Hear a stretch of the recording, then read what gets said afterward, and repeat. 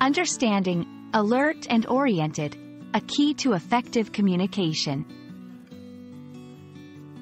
Hello, everyone. Today, we're diving into a fascinating phrase that's not only crucial in healthcare but also in understanding how we perceive and interact with the world around us. The phrase is alert and oriented.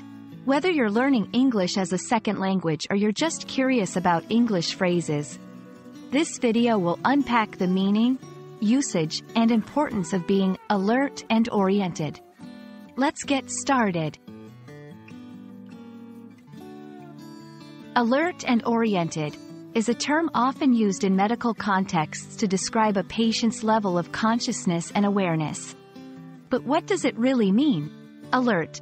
This part of the phrase refers to being fully awake, responsive, and able to understand and react to the environment. It's not just about having your eyes open, it's about being aware of what's happening around you. Oriented. Being oriented means having a clear understanding of who you are, personal orientation, where you are, spatial orientation, and the current time or situation, temporal orientation. In medical terms, professionals often refer to this as being oriented times 3, x3, covering person, place, and time.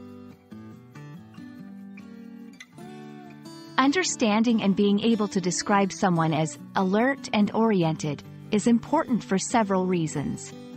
1. Healthcare. In medical settings, assessing if someone is alert and oriented helps professionals determine the patient's mental status and whether they might need immediate attention. 2. Everyday life. Outside of healthcare, the concept can apply to how we assess situations and make decisions. Being alert and oriented means you're capable of making informed decisions and responding appropriately to your environment. 3. Language and communication. For English learners, knowing such phrases enriches your vocabulary and helps you understand more nuanced ways of describing someone's mental and physical condition. In conversations, you might hear or use this phrase when discussing someone's health or reaction to a certain event. It's a succinct way to describe someone's state of awareness. Self-assessment. Understanding this concept can help you self-assess or help others recognize when they might not be fully aware or oriented, which is crucial in emergency situations or when someone is feeling unwell. I hope this exploration of the phrase, alert and oriented, has illuminated a new aspect of the English language for you and shown you how language intersects with our understanding of consciousness and health. Being alert and oriented goes beyond medical jargon. It's a vital part of how we interact with the world and communicate our state to others.